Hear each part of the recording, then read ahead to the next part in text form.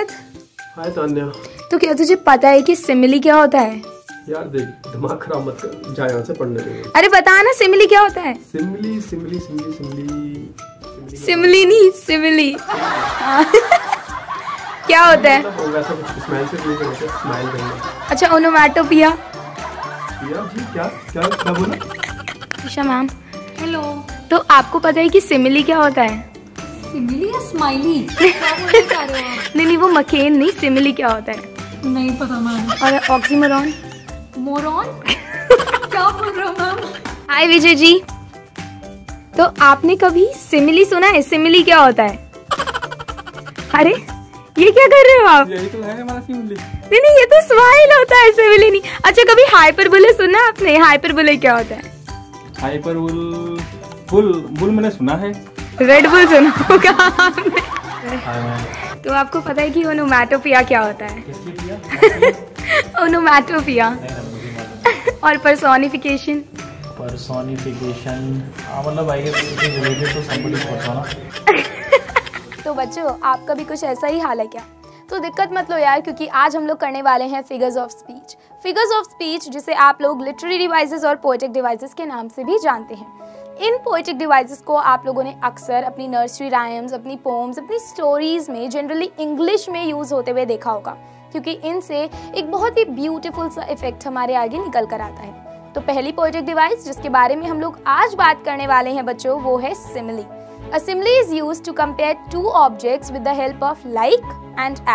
यानी कि like और as का इस्तेमाल करके जब भी हम किसी दो चीज़ों में तुलना करते हैं, उसे simile बोलते हैं Let me give you an example. अगर मैं बोलूँ, he fought like a lion in the battlefield. या he was as strong as a lion. मैंने क्या बोला? कि उसने युद्ध के मैदान में शेर की तरह बहादुरी दिखाई। यहाँ वह शेर की तरह लड़ा। तो जब भी बेटा हम लोग बोलते हैं, उसके जैसा लड़ा, उसकी तरह किया, यानी कि लाइक और एज लगाकर हम दो चीज़ों को कंपेयर करते हैं तो वो हो जाता है हमारा सिमिली जैसे कि मैं बोलूँ he is as tall as a tree वह तो पेड़ की तरह लंबा है है ना? तो मैंने यहाँ पे पेड़ का कंपैरिजन किया किससे? एक इंसान से। क्यों? क्योंकि उनकी लंबाई एक जैसी थी, एक समान थी, लंबी थी। दूसरा बच्चों, हम लोग आ जाते हैं मेटाफर पे। अब मेटाफर की अगर मैं बात करूँ तो यहाँ पे हम लोग बिल्कुल सिमिली वाला काम ही करते हैं। पर यहाँ पर डायरेक्ट कंपैरिजन होता है। यानी कि लाइक और एज हम लोग बिल्कुल भी इस्तेमाल नहीं करते।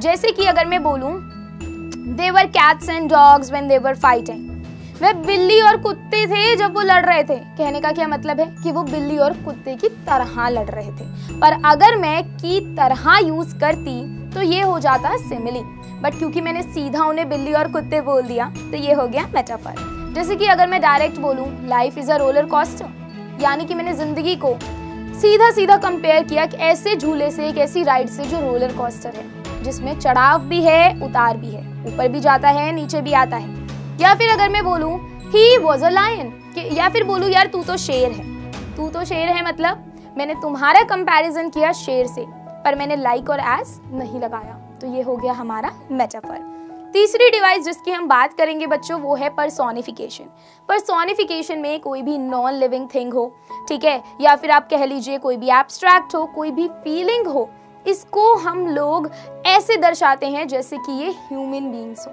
जीवित हो.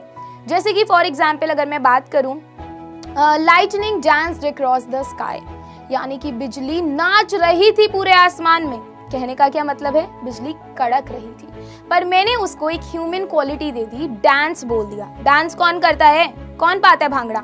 हम ह्यूमंस तो इसीलिए ये पर्सोनिफिकेशन हो गया। अगर आपने कभी आ, सुना हो कि यार बादल रो रहे हैं क्या बादल रोते हैं? नहीं। पर अगर मैं बोलूँ क्लाउड्स आर क्राइंग कहने का क्या मतलब है? कि बारिश हो रही है। पर क्योंकि मैंने यहाँ पर क्राइंग बोल दिया उन्हें एक ह्यूमन क्वालिटी दे दी एक ऐसी विशेषता दे दी जो हम इंसानों की होती है। तो ये क्या हो गया बच्चों? पर्सोनिफिकेशन या फिर अगर मैं बोलूँ कि यार flowers are begging for water कहने का क्या मतलब है? कि बेचारे फूलों को पानी की सख्त ज़रूरत है। पर क्या फ्लावर्स को कभी बेग करते हुए देखा है?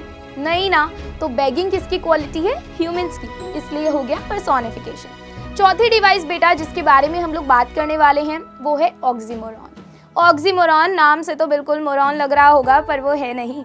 बहुत ही आसान है।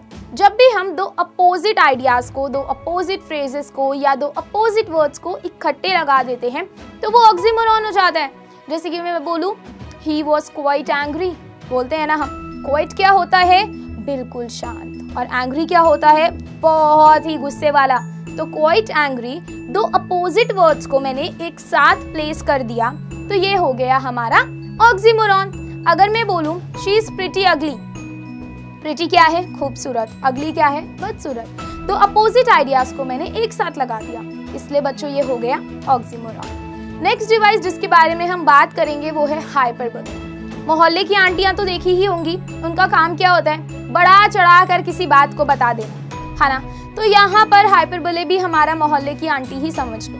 वो क्या करता है? आपके आगे किसी भी बात को बड़ा चढ़ा कर रख देता है। जैसे कि अगर मैं बोलूँ कि यार खून की नदियाँ बह गई, क्या कभी खून की नदी बहती है? नहीं। कहने का क्या मतलब है? कि इतनी लड़ाई हुई होगी कि नदी में खून खून हो गया। बट क्योंकि हमने इतना बड़ा चढ़ा दिया तो हो गया कि यार खून की नदी बह गई। अगर मैं बोलूँ he is as tall as a tree ma'am यहाँ पर तो सिमिली यूज़ हुआ है। ही का कंपैरिजन ट्री से हुआ है और एज भी आया है। बिल्कुल सही। एक सेंटेंस में एक से ज़्यादा पोएटिक डिवाइस हो सकता है। यहाँ पर बच्चों हाइपरबोले भी इस्तेमाल हुआ है, क्योंकि कोई पेड़ जितना लंबा हो सकता है। नहीं, कली को छोड़ दो। है ना तो यहाँ पर पेड़ जितने लंबे होने को बहुत ही बड़ा चढ़ाकर बोला गया है, इसलिए ये क्या हो जाएगा? हाइपरबोले। नेक्स्ट जो डिवाइस है जिसके बारे में हम लोग बात करने वाले हैं बच्चों, वो है ओनोमैटोपिया। नाम से बहुत ही खतरनाक लग रहा होगा, पर स्पेलिंग याद कर लो, बाकी कोई दिक्कत नहीं लेनी है। जनरली ओनोमैटोपिया होता है जब भी हम किसी साउंड को डिस्क्राइब करते हैं। जैसे कि मैं बोलूँ बजिंग बी बी क्या कर रही है? बज ऐसे कर रही है राइट तो ये जो बज है, जो इसका साउंड है बच्चों, ये हो जाएगा ओनोमैटोपिया अगर मैं बोलूँ कि तुम्हें पता है ट्रक इतनी ज़ोर की आया और बम मार दिया तो ये बम क्या है? ये आवाज़ है। तो ये आवाज़ कौन सी डिवाइस है? ओनोमैटोपिया इस टाइप की डिवाइस जनरली आपने नर्सरी राइम्स में ज़रूर देखी होगी। जैसे कि अगर हम बोले कि कैट कैसे कर रही है? मियाऊ मियाओ तो ये मियाओ मियाऊ क्या हो जाएगा? ओनोमैटोपिया आप लोग भी मुझे ऐसे बहुत सारे एग्ज़ाम्पल कॉमेंट सेक्शन में दोगे, ठीक है? और बताओगे कि आपकी फेवरेट पोइटिक डिवाइस कौन सी है। Until then bye